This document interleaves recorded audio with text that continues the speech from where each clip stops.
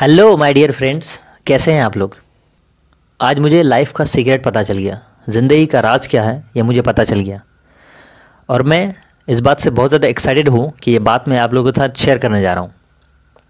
तो शुरू करते हैं शुरू से। यू you नो know, मैं जब भी लोगों से पूछता हूँ इंटरेक्ट करता हूँ क्योंकि ये मेरी आदत है और लोगों से पूछता हूँ कि और भाई कैसे हो? क्या हाल चाल है? तो मुझे लगता है कि 99.999 परसेंट लोग बहुत ही ऑर्डिनरी तरीके से जवाब देते हैं।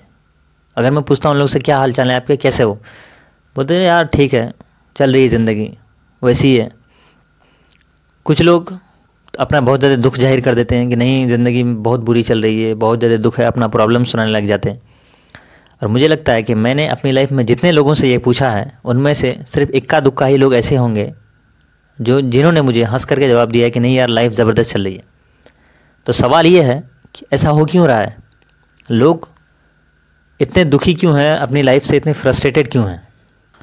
यू नो मुझे लगता है कि दुनिया के मैक्सिमम लोग रोबोटिक ज़िंदगी जी रहे हैं। मैक्सिमम लोग, मैं ये कह सकता हूँ कि बेहोशी में ज़िंदगी जी रहे हैं। वो लोग उठते हैं, अपना जो दिनचर्या होता है वो करते हैं, खाते पीते हैं और सो जाते हैं। फिर अगले दिन यही होता है और यही होता है और एक एक दिन करके उनकी सारी ज़िंदगी निकल जाती है। दुख की बात यह है कि वो लोग कभी बैठ करके ये नहीं सोचते कि मैं कौन हूँ? मैं कहाँ हूँ? मैं कहाँ जा रहा हूँ? मैं क्या कर रहा हूँ? एक स्टोरी सुनाता हूँ कि जब बिल गेट्स और वॉरेन बफेट एक पार्टी में गए थे तो बिल गेट्स के मदर ने उन दोनों को पूछा और दोनों के हाथ में एक पर्चा थमा दिया कि तुम्हारी लाइफ में सक्सेस का सीक्रेट क्या है? और दोनों को एक दूसरे से अलग करके दूसरी जगह भेज दिया अलग अलग भेज दिया। और दोनों को बोला कि अपनी सक्सेस का सीक्रेट बताओ। जब दोनों वापस आए सीक्रेट लिख करके तो दोनों के परिचय पे लिखा हुआ था फोकस मुझे नहीं पता कि ये स्टोरी कितनी सच्चाई है और कितनी झूठ है इस स्टोरी में। लेकिन ये जो फोकस है, ये ज़िंदगी का सीक्रेट है। ये ज़िंदगी का राज है। कैसे? आप जिस चीज़ पे फोकस करते हो, आपकी लाइफ वैसी बन जाती है। इंग्लिश में एक कहावत है कि what you focus on expands what you focus on grows. So, focus on what you want, not what you don't want. लेकिन सबसे ज़्यादा दुख की बात है, सबसे ज़्यादा सैड बात यह है कि दुनिया के मैक्सिमम लोग उन चीज़ पे फोकस करते हैं और उन चीज़ों पे फोकस करते हैं जो वो लोग नहीं चाहते। जैसे मैंने अभी बोला कि लोगों से जब मैं सवाल करता हूँ कि कैसे हो तो लोग बहुत ही ऑर्डिनरी तरीके से जवाब देते हैं कि नहीं, ज़िंदगी अच्छी नहीं चल रही है, बकवास चल रही है। ऐसा क्यों हो रहा है? ऐसा इसलिए हो रहा है क्योंकि वो लोग बकवास चीज़ों पर फोकस करते हैं।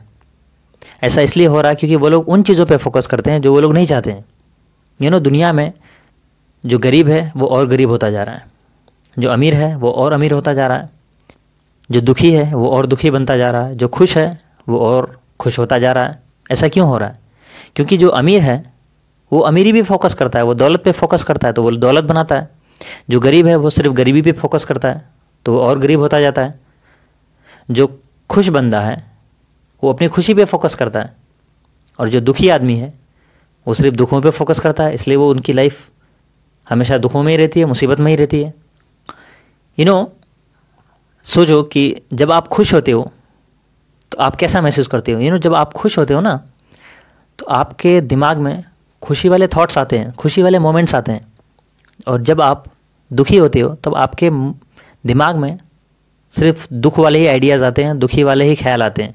और जब भी आप कभी पास्ट में दुखी थे, मुसीबत में थे, आपके दिमाग में वही सारे ख्याल आते हैं। और जब भी आप गुस्सा होते हो, तब आपके दिमाग में गुस्से वाले ख्याल आते हैं। ऐसा होता है कि नहीं होता है? ऐसा ही होता है। और उसी को लोग लॉ ऑफ़ अट्रैक्शन बोलते हैं। लॉ ऑफ़ अट्रैक्शन बेसिकली होता क्या है? लॉ ऑफ़ अट्रैक्शन कहता है कि हम जिन चीज़ों के बारे में ज़्यादातर सोचते हैं, वो चीज़ हमारी लाइफ में आ जाती है, वो चीज़ हमारी लाइफ में अट्रैक्ट हो जाती है। चाहे अगर हम ज़्यादातर खुशी के बारे में सोचते हैं तो हमारी, हम लोग खुश हो जाते हैं, हम लोग अपनी लाइफ में उन लोगों को अट्रैक्ट करते हैं, उन सिचुएशंस को अट्रैक्ट करते हैं, जो खुशियों वाले होते हैं, जो हैप्पी होते हैं। अगर हम लोग हर वक्त दुखी वाले सोच, सोचते हैं तो हम लोग दुखी रहने लगते हैं। हम लोग के लाइफ में मुसीबतें आ जाती हैं। अगर हम लोग पैसे वाले सोच, सोचते हैं तो हमारी लाइफ में पैसे आने लगते हैं। तो सोचते कैसे हैं? और जब एक चीज़ को आप बार बार सोचते हैं तो इसका मतलब है कि आप उस सोच पे ध्यान देते हैं, और जब आप ध्यान देते हैं तो इसका मतलब है कि आप फोकस करते हैं। तो इसी को तो लॉ ऑफ़ अट्रैक्शन बोलते हैं। तो मेरा ये मानना है कि क्यों ना उन चीज़ों पे फोकस किया जाए जो मुझे चाहिए, जिससे हमें फ़ायदा मिल सकता है। दुनिया के one of the greatest motivational speaker हैं टॉनी रॉबिन्स वो कहते हैं कि where focus goes energy flows मतलब कि जिधर भी हमारा फोकस जाता है, जिधर भी हमारा ध्यान जाता है उधर से एनर्जी आती है, उधर से ऊर्जा आती है। तो चॉइस हमारे ऊपर है। ये ना बहुत सारे लोग किस्मत का रोना रोते हैं, बहुत सारे लोग किस्मत को खोजते हैं।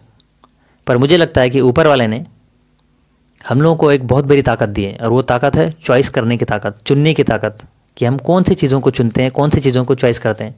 अगर हम लोग बुरे ख्याल को चॉइस करते हैं तो हमारी लाइफ में बुरे ख्याल वाले सिचुएशंस ही आते हैं।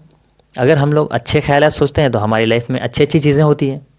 तो हम लोग किस चीज़ पे फोकस करते हैं? अगर हम लोगों को लाइफ में बेहतर होना है, हम लोगों को लाइफ में आगे बढ़ना है तो हमें उन्हीं चीज़ों के बारे में सोचना है, उन्हीं चीज़ों पे फोकस करना है, उन्हीं चीज़ों पे ध्यान देना है, ना कि मैक्सिमम लोगों की तरह जो उन चीज़ों पे फोकस करते हैं, जो उसे नहीं चाहिए होता है।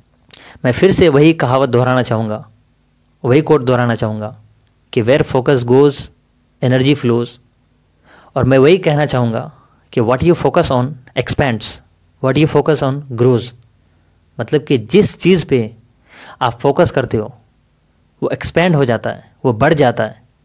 तो क्यों ना उन चीज़ों पे फोकस किया जाए, जो हमें चाहिए, जो हमारी लाइफ को बेहतर बना सकते हैं। तो मैं तो आज से उन्हीं चीज़ों पे फोकस करूँगा जो मुझे चाहिए, जो मेरी लाइफ को बेहतर बनाए। बाकी चॉइस आपकी है।